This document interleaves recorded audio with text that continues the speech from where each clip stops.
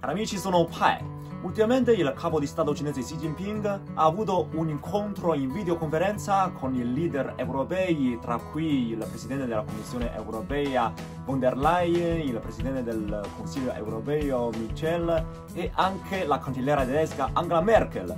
L'incontro ha suscitato anche qualche attenzione da parte degli studiosi italiani. Sentiamo subito il commento di Stefano Porcelli dell'Università degli Studi di Brescia. Lo scorso 14 settembre c'è stato un incontro in videoconferenza tra il Presidente della Repubblica Popolare Cinese Xi Jinping ed alcuni dei leader delle istituzioni europee. Nello specifico eh, la Presidente della Commissione von der Leyen, il Presidente Michel del Consiglio europeo e la Cancelliera tedesca Merkel nelle vesti di Presidente di turno dell'Unione. Nell'incontro si è discusso di questioni attinenti al come fronteggiare le sfide che vengono poste dal Covid. Il presidente cinese ha suggerito l'importanza di eh, un approccio che vada a rafforzare la convivenza pacifica, il multilateralismo, l'apertura, e così come poi eh, si è espressa l'intenzione di riuscire entro la fine dell'anno a portare a termine le trattative per il Bilateral Investment Treaty tra eh, Unione Europea e Repubblica Popolare Cinese, trattative che data anche la delicatezza dell'argomento si protraggono ormai da anni. Ancora restando a temi specifici, importantissimo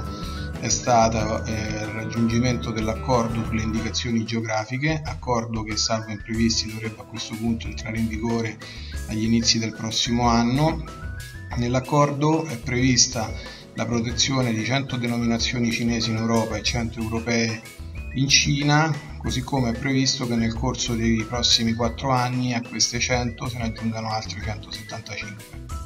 Tra le 100 denominazioni cinesi eh, possono annoverarsi l'Anji Bai Chai, il Puar Cha ed altre varietà pregiate di tè, così come le cosiddette bacche di goji, delle varietà di riso, liquori come i celebri Maotai o Unyaye e per quanto riguarda le europee invece bisogna riconoscere che la parte del leone l'abbia fatta l'Italia con ben 25 denominazioni. Tra queste, soltanto per menzionarne alcune, Brunello di Montalcino, Francia Corta, Parmigiano Reggiano, mozzarella di bufala campana ed altre. Chiaramente si tratta eh, di un accordo molto importante considerando anche le peculiarità dell'economia italiana, andandosi così a rafforzare la tutela di questi prodotti di eccellenza italiana in un mercato come quello cinese che ha appunto delle dimensioni più che considerevoli